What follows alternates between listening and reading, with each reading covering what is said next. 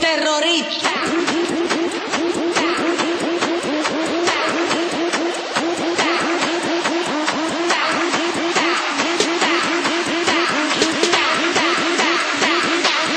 do the Harlem Shake.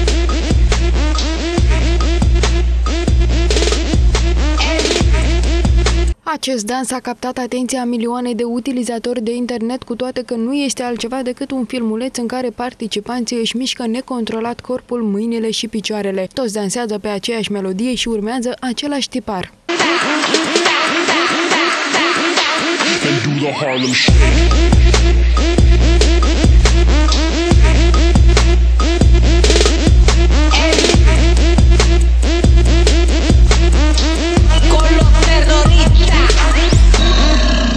Psihologii spun că este firesc ca oamenii să caute să se integreze într-un anumit grup. Dintotdeauna, indivizii au căutat să se asocieze pentru a forma o forță. De data aceasta, tinerii au găsit o manieră distractivă de a se grupa. punerea propriei persoane uh, în valoare se face în prezenta altor persoane. Iată că referitor la aceste filmulețe au început să fie din ce în ce mai prezente pentru că vin cu o nouă modă.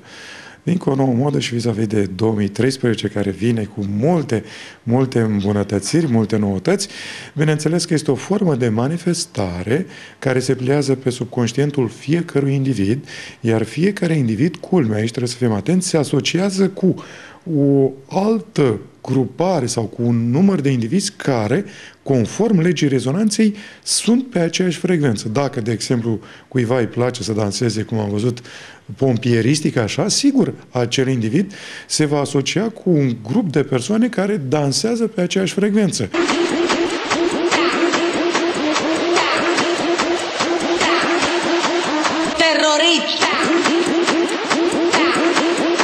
Astfel de manifestări, uh, tinerilor li se potrivesc foarte mult pentru că îi montează, îi ajută să își creeze un anumit scop, un anumit cel, un target care de fapt îi va marca, îi va crea, îi va clădi ca un viitor adult. Specialiștii consideră că nu este nimic negativ în acest mod de a petrece timpul, ba din contră, psihologii susțin că așa tinerii își consumă energia și își potolesc setea de a ieși în evidență. Nu sunt neapărat negative. Dacă mesajul este copilăresc, dacă mesajul este haios, e ok, nu e nicio problemă. De fapt, este o modalitate prin care ei își manifestă energia. Calculatoarele ați văzut că sunt mari consumatoare de energie.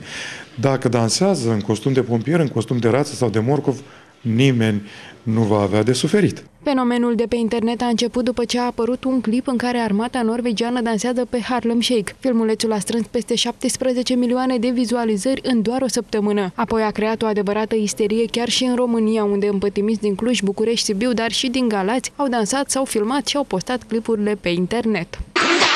And do the Harlem Shake.